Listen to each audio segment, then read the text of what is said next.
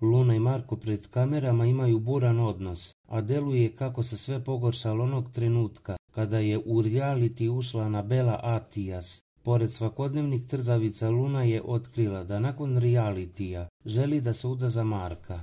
Mi se zaista volimo, ali nam drugi stvaraju probleme i ne daju nam da budemo srećni. Uvek se neko meša i uvek mora neko da nam soli pamet. Nas niko neće rastaviti, pa ni moja majka Anabela. Za Vaskrs imam samo jednu želju, a to je da se strasti smire, da sve bude dobro i da Marko ja ceo život provedemo zajedno. Mislim da je naša veza dosta ojačala i da smo spremni da je krunišemo brakom, što ćemo i uraditi nakon realitija. Nadam se da će moja mama uvidjeti da greši i da će se situacija između nje i Marka srediti, jer to mi je baš potrebno za potpunu sreću.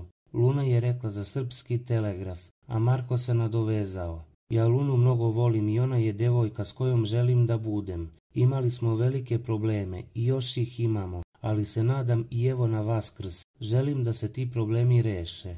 Nekako verujem da ćemo Anabela i ja ispeglati odnose i da će ona shvatiti da je njenoj čerki želim samo najbolje. Spreman sam da živim s njom i da sutra imamo decu. Zbog svega toga je bitno da Lunina majka i ja budemo u dobrim odnosima. Trenutno je loša situacija, ali verujem da će jednoj majci uvek biti na prvom mestu čerkina sreća, te da će popustiti i da ćemo na kraju biti srećna porodica.